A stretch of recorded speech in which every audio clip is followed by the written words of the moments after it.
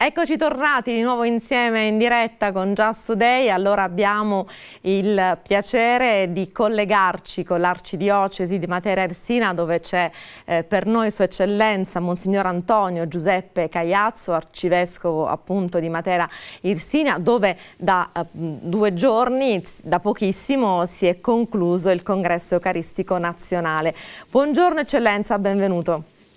Buongiorno a lei, buongiorno a tutti i telespettatori. Allora, da pochi giorni si è concluso questo importante appuntamento per la Chiesa italiana, torniamo al gusto del pane per una Chiesa eucaristica e sinodale. Subito, a caldo, facciamo un bilancio di queste giornate ricche di, di presenze e anche di significato.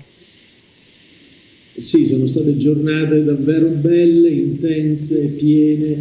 eh, di grande spiritualità, di grandi contenuti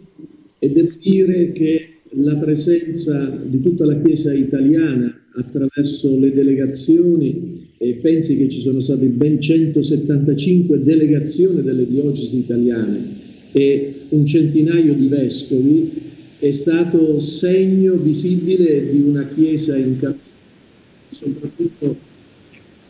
che stia vivendo eh, il congresso eucaristico ha rappresentato e rappresenta, se così possiamo dire, la prima tappa che eh, ci conduce all'inizio del secondo anno eh, di questo cammino eh, verso quello che suggerendo italiano.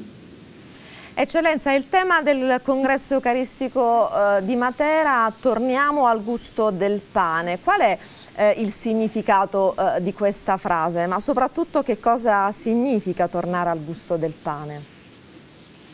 Ma teniamo presente che quando abbiamo scelto il tema, la commissione, ehm, venivamo proprio dal tempo della pandemia, soprattutto la prima fase,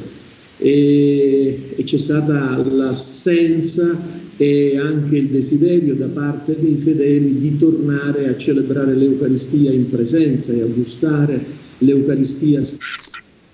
E io ho pensato proprio tenendo presente il pane di Matera che l'ho definito trinitario e cristologico nello stesso tempo per come il pane viene fatto, che poteva essere il simbolo che mettesse in evidenza esattamente quello che era il congresso eucaristico, cioè bisogna ripartire dall'Eucaristia e ripartire proprio dalla centralità dell'Eucaristia stessa in quanto è fonte e culmine di tutta la vita della Chiesa, come ci insegna il Concilio, ma nello stesso tempo eh, questo ci deve impegnare seriamente nella vita di ogni giorno. È stato questo l'intento soprattutto ed è su questo che abbiamo meditato perché non ci può essere vera Eucaristia se l'Eucaristia poi non viene calata nella vita, cioè dire in questo, voglio dire, eh, San Pio ci è di grande esempio e ci insegna veramente quale deve essere il rapporto con Cristo e con Cristo Eucaristia e quale deve essere il rapporto con la vita di ogni giorno nell'impegno quotidiano. Spezzare il pane sull'altare significa spezzare il pane nella quotidianità. Diciamo che questo è stato soprattutto l'intento e il consiglio permanente della CEI quando io ho presentato il tutto, l'ha accolto eh, benevolmente e quindi è passato e subito dopo abbiamo lavorato eh, per circa un anno e mezzo eh, a preparare questo congresso eucaristico.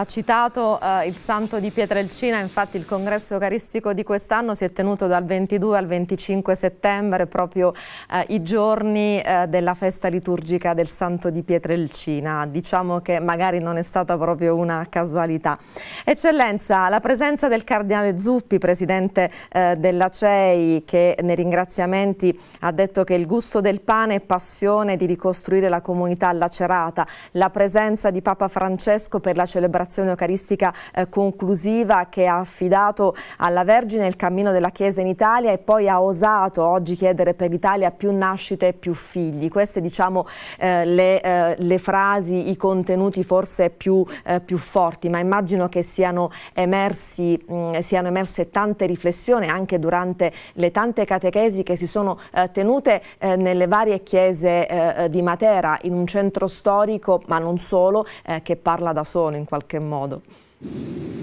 Sì, intanto io dico,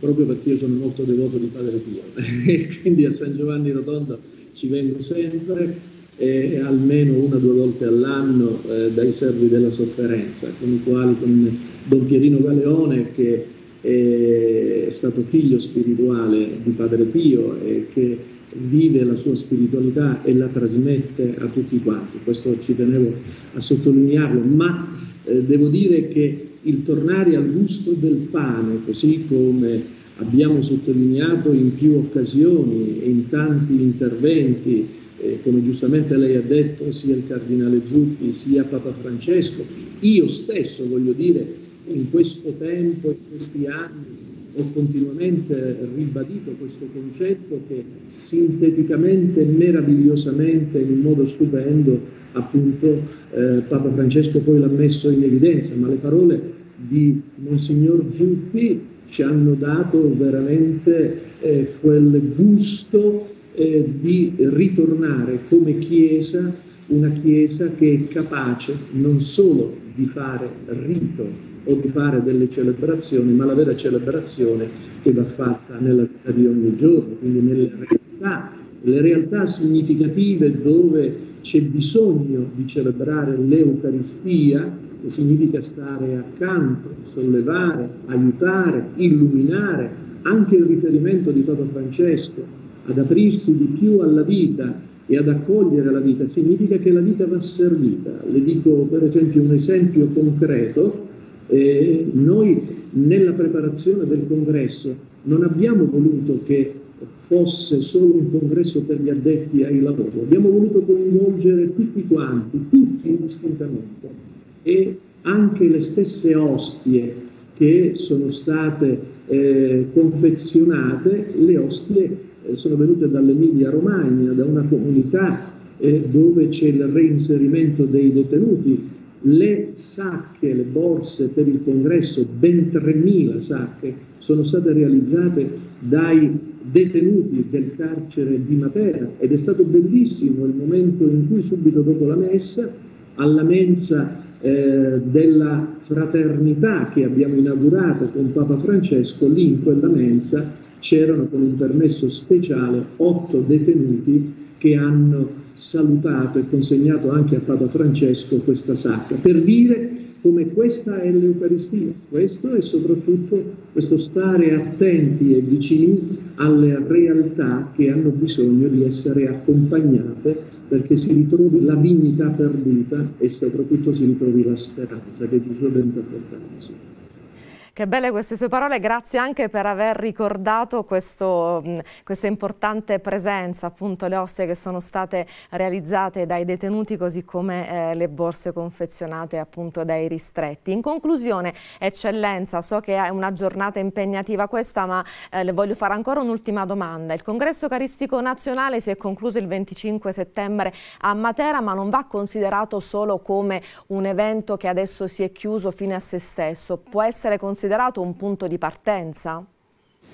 È esattamente un punto di partenza. Beh, se noi dovessimo semplicemente celebrare un evento e l'evento poi dovesse rimanere lì solamente nel ricordo, eh, noi come Chiesa non facciamo dei ricordi, noi celebriamo dei memoriali. Per noi deve rimanere sempre un memoriale che ci ricorda esattamente il cammino che la Chiesa italiana sta facendo. Come ho avuto modo di anticipare prima, per la Chiesa italiana il congresso eucaristico rappresenta all'inizio del secondo anno del cammino sinodale il là che ci permette di guardare avanti fiduciosi. Ripartiamo dall'Eucaristia, torniamo al gusto del pane. E allora noi la ringraziamo di cuore per essere stato nostro ospite questa mattina, la aspettiamo in presenza a San Giovanni Rotondo perché appunto ci ha detto di essere devoto del Santo di Pietrelcina, quindi la aspettiamo davvero con le braccia aperte nella città del Santo e grazie davvero di cuore a Monsignor Antonio Giuseppe Cagliazzo, Arcivescovo di Matera Irsina. Grazie. grazie eccellenza. Buona giornata, santa giornata a tutti. Grazie anche a lei, grazie per questo augurio di una santa giornata. Allora, ehm, eccoci qui di nuovo insieme in diretta dopo questi due collegamenti abbiamo, ecco, come dire, preso ehm, oggi come ehm, centro due eh, diocesi del, del, sud, ma poi sicuramente ecco, anche nelle prossime settimane avremo modo di dare spazio anche a quello che eh, succede in altre diocesi, anzi se avete eventi non solo a livello diocesano, parrocchiale, ma anche se siete delle realtà, delle associazioni, onlus o altro, potete naturalmente segnalarci le vostre iniziative facendo riferimento alla nostra mail info-teleradiopadrepio.it o perché no, anche utilizzando il nostro numero WhatsApp. Ehm, non abbiamo aggiornamenti significativi no non ce ne sono e allora ehm, non so se abbiamo un'altra fascia pubblicitaria chiedo alla regia di aiutarmi, perfetto perché abbiamo eh, un po' eh, distorto la scaletta di oggi ma per dare la possibilità ai nostri ospiti di essere presenti. Allora andiamo in pubblicità e poi di nuovo insieme con l'ultima parte di Just Today.